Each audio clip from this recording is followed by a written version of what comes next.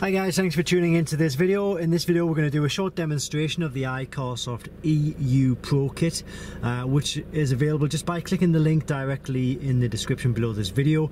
Um, there are fakes, there are clones out there on the market, they can damage your vehicle so it's really not worth going down that route.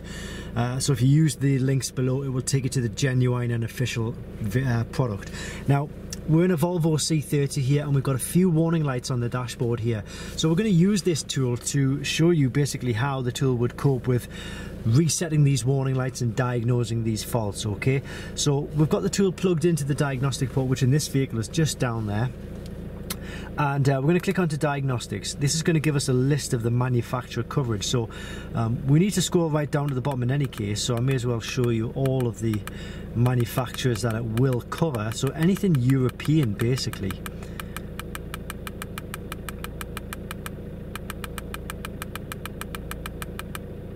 There we go. So we're going to go to Volvo, which is this one here.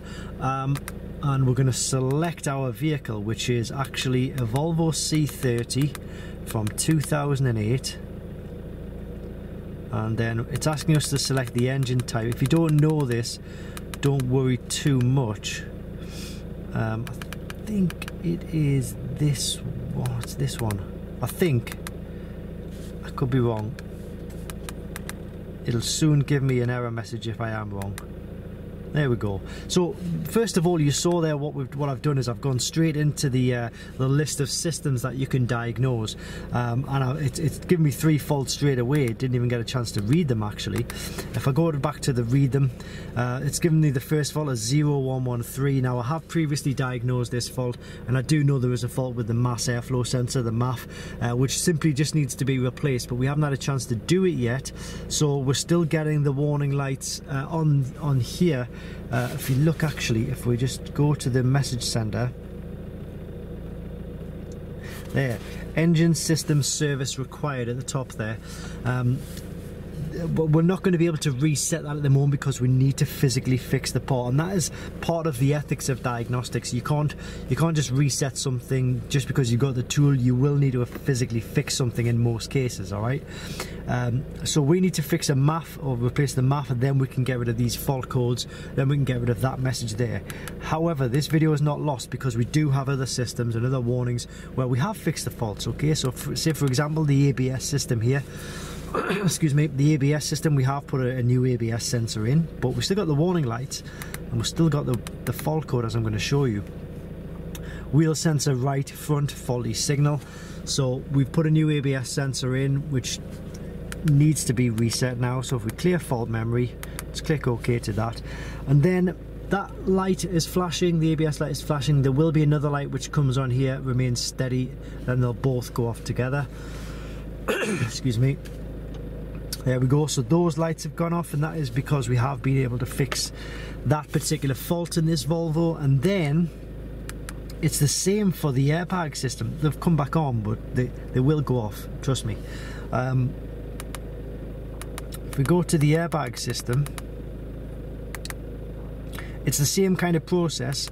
We found a loose connection underneath the driver's seat excuse me uh, so this is the fault code we were getting 005b and then front right hand impacts protection system, uh, driver's belt buckle, current outside the permitted range. So these are the fault codes that you would generally get with a, a loose connection or a faulty connection on the driver's seat. Uh, but we fixed that. We can now go to clear fault memory and we should be able to get rid of the airbag warning light. Okay, so it's telling us a raise operation done there.